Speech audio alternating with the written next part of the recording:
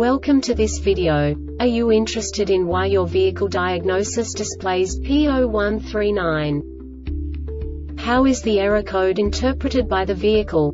What does P0139 mean, or how to correct this fault?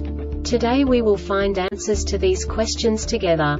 Let's do this. First, let's look at the history of diagnostic fault code composition according to the OBD2 protocol, which is unified for all automakers since 2000. We divide the electric system of automobile into the four basic units.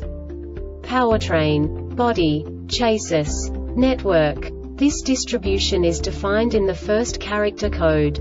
If the second character is expressed as zero, it is a standardized error. In the case of numbers 1, 2, 3 it is a more prestigious expression of the car-specific error. The third character specifies a subset of errors. The distribution shown is valid only for the standardized DTC code. Only the last two characters define the specific fault of the group. Let's not forget that such a division is valid only if the other character code is expressed by the number 0. Our website airbagreset.sk produces useful videos for you.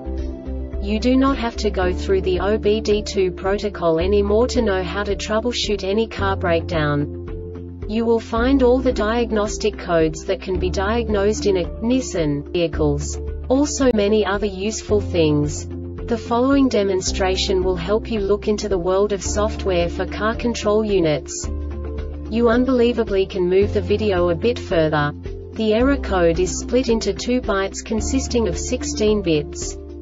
One bit is the basic unit that each computer works with. The bit has two logical states.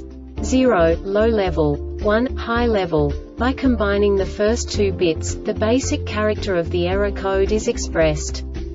The next two bits again determine the second character.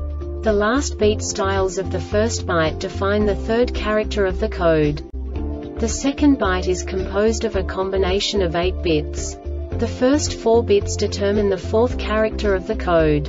And the combination of the last 4 bits defines the fifth character.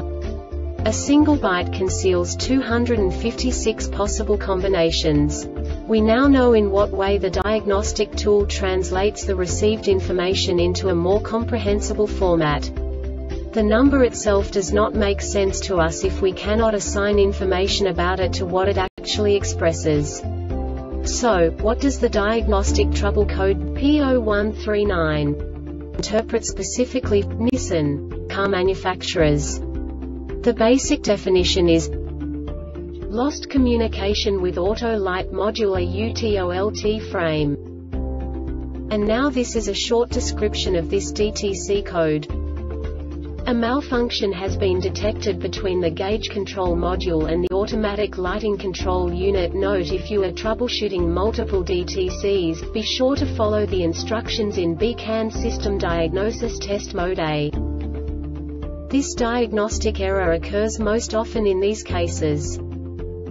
Loose or poor connections between the gauge control module and the automatic lighting control unit open in the BCAN wire check for lighting DTCs perform the power and ground input test for the automatic lighting control unit faulty automatic lighting control unit faulty gauge control module.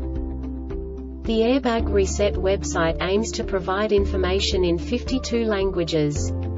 Thank you for your attention and stay tuned for the next video.